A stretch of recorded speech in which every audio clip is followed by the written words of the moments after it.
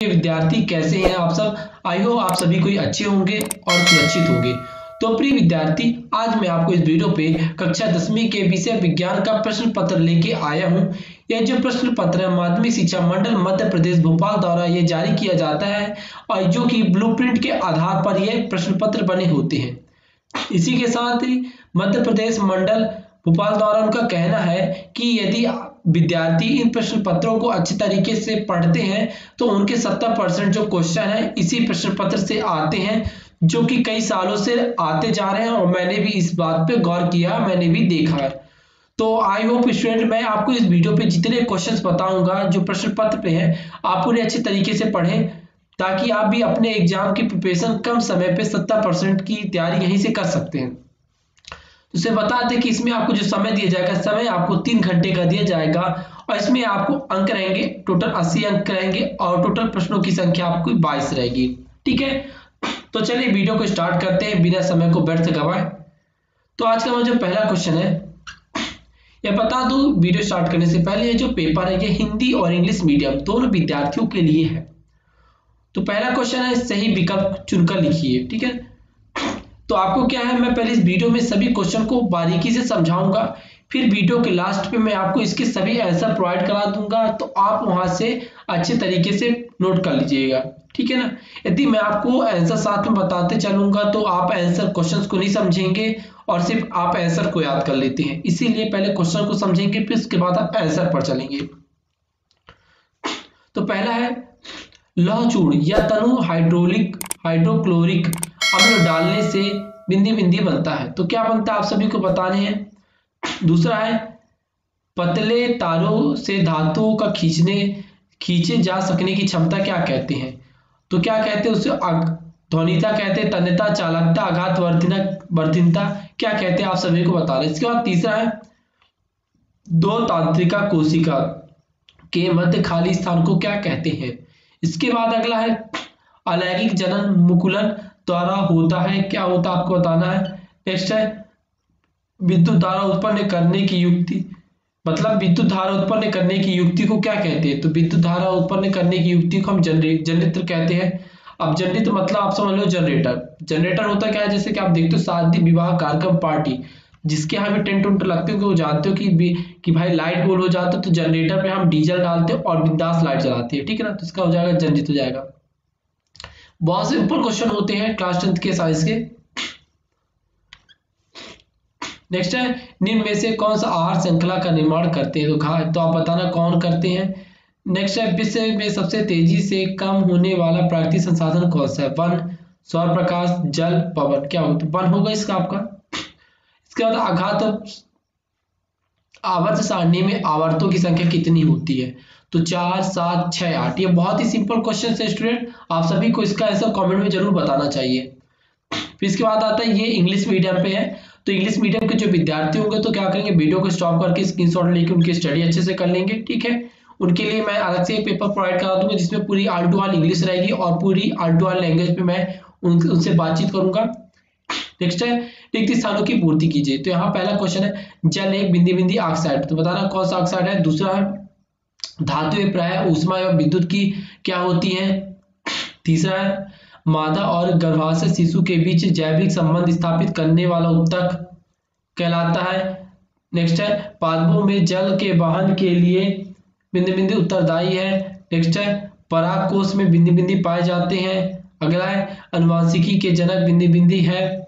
Next है, किसी तार का पेदो उसकी लंबाई के आधा होता है मतलब एक बटा आर होता है। मस्तिष्क तथा मेरुरज्जु बिंदु बिंदी तंत्र बने होते हैं मतलब किससे बने होते हैं आपको बताना है ठीक है ना? इसके बाद आ जाता है इंग्लिश मीडियम वालों के लिए फिल इन द ब्लैंक्स तो वो भी अच्छे तरीके से पढ़ लेंगे।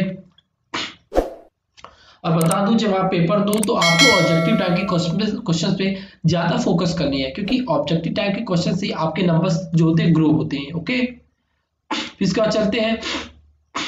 सही जोड़ी मिल, का मिलान करिए। तो यहाँ पर आपको दो पक्ष दिए जाएँगे और बार, ठीक है ना? मतलब फ़र्स्ट और सेकंड तो पहला है, सबसे अधिक क्रियाशील धातु कौन सा है? दूसरा है, सामान्य रक्त दाब तीसरा है, पादप हार्मोन। चौथा है, शुक्राणु उत्पादन नियंत्रण। पचमा है, तारों का टिपटिपाना किसे कहते हैं? छठवा है लेंस क्षमता मतलब डॉक्टर नेक्स्ट है जरा दृष्टि दोष, ठीक है? और फिर नेक्स्ट है लास्ट है, जो कि विद्युत विभागांतर तो भी आपको बताना है इसके बारे में यहाँ पर इसका कौन सा क्या राइट आंसर होगा। ठीक है ना? आपको सभी को बताना है इसका कौन सा राइट आंसर होगा। ठीक है? और आप दिक्कत ना लीजिए, इसके राइट आंसर मैं अपने वीडियो क्लास पे दे दूँगा। आप चाहे तो इसे पीडीएफ में भी प्राप्त कर सकते हैं, ताकि आप बिना वीडियो देख के आप पीडीएफ के थ्रू से आप पढ़ सकते हो। यहाँ पर नेक्स्ट है। एक वाक्य में उत्तर दीजिए। ठीक है ना? तो पहला है, शुद्ध जल का पीएच मान लिखिए तो आप जानते हो शुद्ध जल का पीएच मान कितना होता है? सात होता है। कितना होता है? सेवन होता है, ठीक है ना? सेवन सभी को पता है। नेक्स्ट है दो या दो से अधिक धातु के संगामी मिश्रण को क्या कहते हैं? जो मतलब दो या दो से अधिक धातु को समान मात्रा में मिलाना क्या आता है? यौगिक कहलाता है। नेक्स्ट है हरे पौधों की पत्तियों में पाए जाने वाले वर्णों को क्या कहते हैं? नेक्स्ट है नर युवकों एवं मादा युग्मक के संलयन को क्या कहते हैं? नेक्स्ट है, लिंग निर्धारण करने वाले गुणसूत्र हैं। अगला है लेंस की क्षमता का सूत्र क्या होता है? आपको पता है डी होता है। अब इसके बाद मतलब ये डायप्टर का वो मैंने बता दिया। आपको इसके आगे और पढ़ना पड़ेगा। मैं आपको हिंट बस देते चलूँगा, ताकि आप पेपर में एक हिंट के थ्रू आप अपने एग्ज़ाम को अच्छी तरीके से क्लियर कर सकते हो। निकट दृष्टि दोष दूर करने वाले कौन सा लेंस प्रयोग किया जाता है? और नेक्स्ट है विद्युत प्रतिरोध का ऐसा मात्रा क्या होता है? तो आप जानते हो विद्युत प्रतिरोध का ऐसा मात्रा क्या होता है? ओम होता है। क्या होता है? ओम होता है। ठीक है ना? ये तो बहुत सिंपल क्वेश्चन स्टूडेंट आप सभी से अच्छे से बनना चाहिए। इसके बाद आता है आपका, श्वसन की क्रिया को उष्माक्षेपी अभिक्रिया क्यों कहते हैं? और इसका अथवा है, तेल एवं वसायुक्त पदार्थ को नाइट्रोजन से प्रभावित क्यों किया जाता है?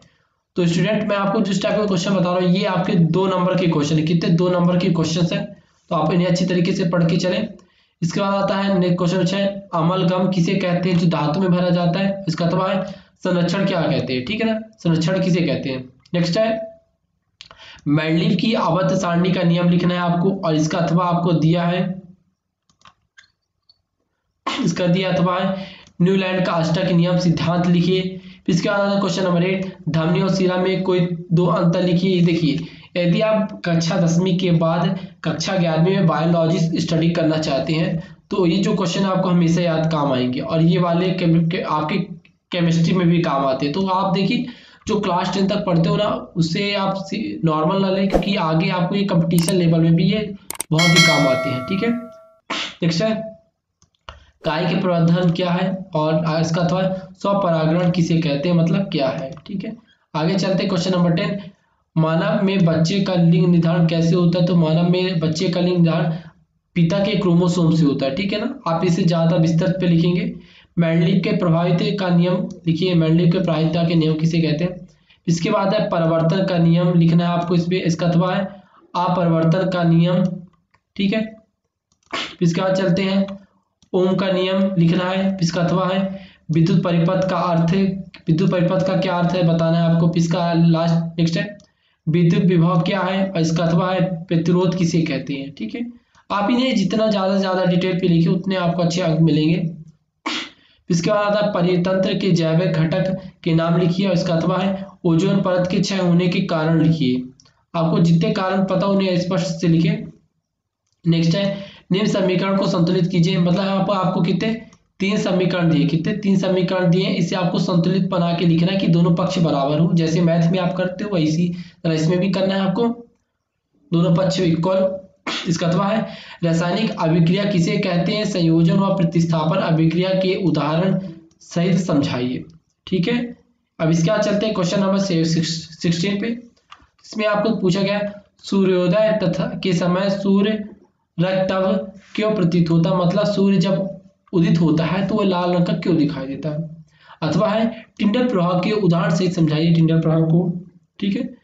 इसके बाद है, चुंबकीय बल रेखाओं के गुण लिखिए। और इसका अथवा है, फ्लेमिंग के दाएँ हाथ का नियम। क्या लिखना है आपको? फ्लेमिंग के दाएँ हाथ का नियम आपको यहाँ पर स्पष्ट करके लिखना है। नेक्स्ट है, ऊर्जा का उत्तम स्रोत क्या है?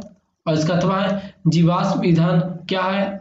और इसमें क्या हानियाँ होती हैं, आप सभी को बताना है। ठीक है? इसके बाद हम चलते हैं क्वेश्चन नंबर 19 पे। तो क्वेश्चन नंबर 19 है, विरंजक चूर्ण एवं धवन सोडा के सूत्र एवं उसके दो दो उपयोग लिखना है। और इसका अथवा है जिप्सम के प्लास्टर ऑफ़ पेरिस कैसे प्राप्त किया जाता है? समीकरण से समझाइए एवं प्लास्टर ऑफ़ पेरिस के दो उपयोग लिखिए। मतलब आपको इसमें बताना है कि जिप्सम से प्लास्टर ऑफ़ पेरिस कैसे बनता है। इसका समीकरण क्या है और इसका उपयोग क्या है, आप सभी को इस पर बताना है। ठीक है? इसके बाद आता है क्वेश्चन नंबर ट्वेंटी इसमें बताना है, निम्नलिखित कार्बनिक यौगिकों की संरचना सूत्र आपको बताना है।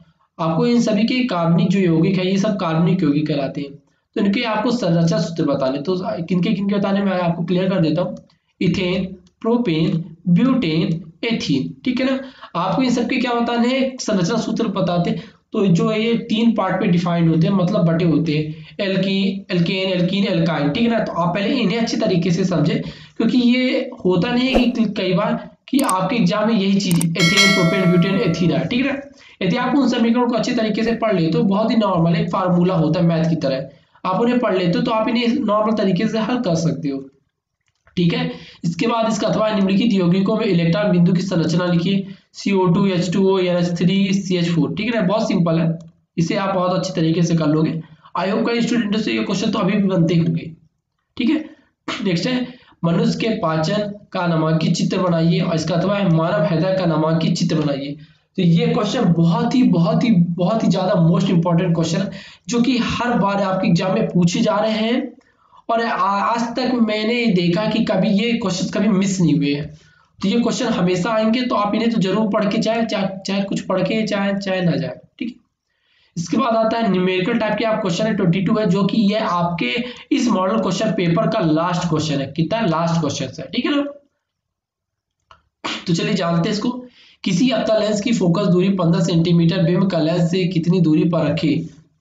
कि इसके द्वारा बिंदु का लेंस से 10 सेंटीमीटर दूरी पर प्रतिबिंब बने। लेंस द्वारा उत्पन्न आवर्धन क्षमता भी ज्ञात कीजिए। और इसका अथवा आप देख सकते हो। इसका अथवा है, किसी ऑटोमोबाइल के पीछे का दृश्य देखने के लिए उपयोग में होने वाला उत्तर अवतल सॉरी, उत्तल दर्पण की वक्रता त्रिज्या 3.00 मीटर है, यदि एक बस इस दर्पण से पाँच मीटर की दूरी पर स्थित है तो प्रतिबिंब की स्थिति प्राकृतिक पर साइज़ ज्ञात कीजिए, ठीक है ना?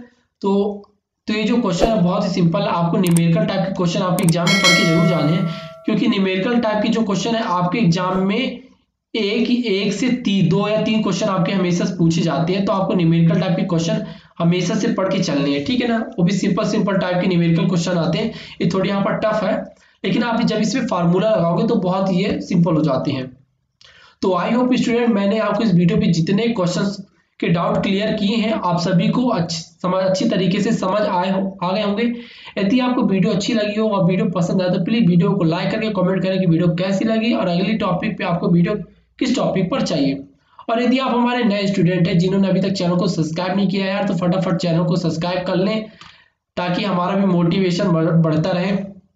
और आप सभी को बता दूँ, यदि आप चैनल को सब्सक्राइब करके बेल आइकन को ज़रूर ऑन कर लेते हैं तो हमारा जो ये चैनल है, आपको class nine tenth eleven twelfth सभी क्लास के अच्छे तरीके से आपकी स्टडी कराता है, ताकि आप अपने एग्ज़ाम में अच्छा से अच्छा अंक प्राप्त करके अपने स्कूल के टॉपर बन सको, ठीक है?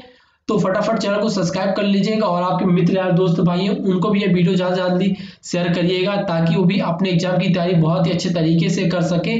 ठीक है? और सब्सक्राइब करके बेलाइकन ऑन करना ना भूलिएगा ताकि आप हमारी जो अगली वीडियो आए तो आप उसे मिस ना कर पाए। सो so,